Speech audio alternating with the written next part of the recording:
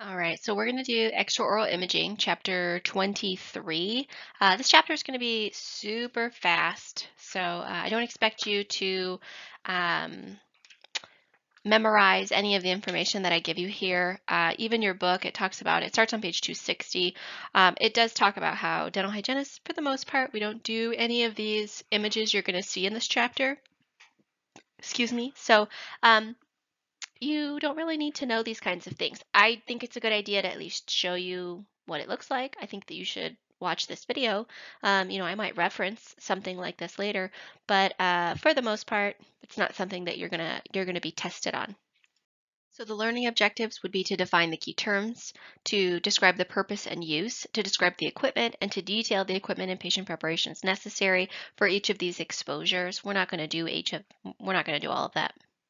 Uh, these are what I would like you to do, is to be able to identify the purpose and to be able to identify the projection itself. Uh, I don't expect you to be able to understand or to describe the head position and the receptor placement uh, for the beam alignment for each of the following, but I do expect you to at least uh, kind of understand which of these which is which. So there's a lateral jaw projection, which includes the body of the mandible and the lateral jaw projection, ramus of the mandible. Uh, there is a lateral cephalometric projection, a posterior anterior projection, the Waters projection, submento vertex projection, the reverse Towne projection, and transcranial projection. The purpose of this chapter is to expose you to some of this information. So we want to present the basic concepts of these extraoral images, and we're going to introduce a number of extraoral projection techniques and describe uh, how each of those work.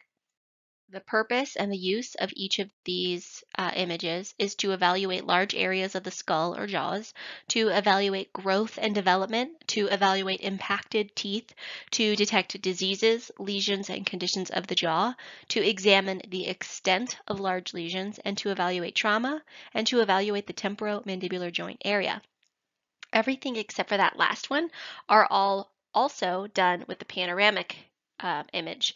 Only the temporomandibular joint area has an additional x-ray that uh, is better than the, the pano, uh, that it does things other than the pano can do. So that's, that's the only one different from chapter 22. The extraoral projection techniques include the lateral jaw imaging, the skull imaging, and the temporomandibular joint imaging. The lateral jaw imaging includes uh, the body of the mandible projection and the ramus of the mandible projection. There's two different ones. They're taken exactly the same way. This one right here shows us the body of the mandible. And if I were to kind of zoom in on and take another one of just, uh, here I'll show you with this, uh, just sort of this area right here, then I would have a ramus of the mandible projection. It's taken the exact same way and it's used for the same purposes. And so for this, we're looking to see if there is any issues with the jaw. For skull imaging, there are a couple. So it's going to be used to examine the bones of the face and the skull. It's used most often in oral surgery and for orthodontics. It includes the lateral cephalometric projection, the posterior anterior projection, the Waters projection, submento vertex projection, and the reverse Towne projection. All right, so the first step is the cephalometric, or it's sometimes called the lateral cephalometric projection. Uh, both of them are, are the same. Then uh, it, it almost looks exactly the same as your lateral jaw projection, right? Only for this, it's taken uh, without an angle. So the, the PID is exactly at zero degrees versus the lateral jaw, which is taken at an angle. But anyway, uh, the the cephalometric is used to determine uh, where the bone placement is uh, in order to get a a profile. So you guys are probably learning in preclinic how we measure patients' profiles, that we look to see uh, if the patient's profile is correct, right? We're looking to see if the bottom jaw sticks out too far, which would give us a class 3 occlusion, which would be prognathic. We're looking to see if the bottom jaw is too far in with a severe underbite or overbite, sorry and uh, that would be a class two, either a division one or division two. And uh, you know, we would be looking to see that the patient is um, is uh, retrognathic. And then if the patient is like this, uh, beautiful soul, then they are mesognathic, which means that their jaws come together in the, the correct way. So anyway, the purpose of the cephalometric is to evaluate the facial growth and development, to look for trauma, and to look for diseases and developmental abnormalities. All right, and so this is what it would look like if we were to place a receptor either directly in front of the patient's face or directly behind the patient's face, and we were to take uh, a radiograph just of that one shot. So uh, posterior anterior, uh, it actually means from the back to the front, right? So the, to take this radiograph specifically, we would need to have the receptor placed directly in front of the patient's face, like kind of up against their nose, and then you uh, just kind of you sort of place the PID from the back, looking at them. It does the same thing everyone else does, or all of the other projections do. So it evaluates facial growth, development, trauma, and disease, and developmental abnormalities. This one is the Waters projection. It's taken at an angle. You can see kind of from underneath the patient's jaw.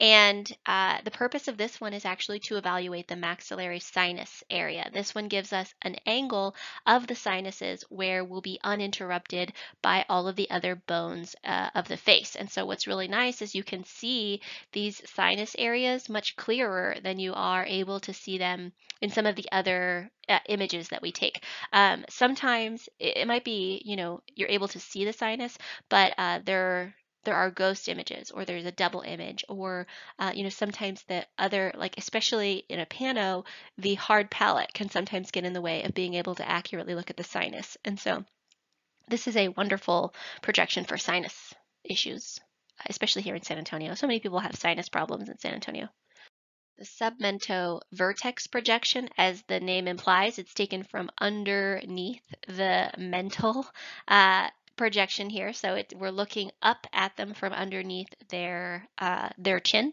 And so you can see the entire occipital area here. And then you can see this is where the jaw starts right here, but then you can see all of this extra stuff here where the the jaw um, the mandible actually articulates with the temporal bones, and you can see some of those other bones in there too. Um, this one is to identify the purpose of the condyles, to demonstrate the base of the skull, and to evaluate fractures of the zygomatic arch. This one's really nice because you can see these zygomatic arches really beautifully as they come up and articulate with the temporal bone. And then the reverse Towne projection. This one's wonderful at identifying fractures of the condylar neck and the ramus area. This one is taken almost sort of exactly like the posterior anterior one. Um, however, the patient's mouth is open, as you can see.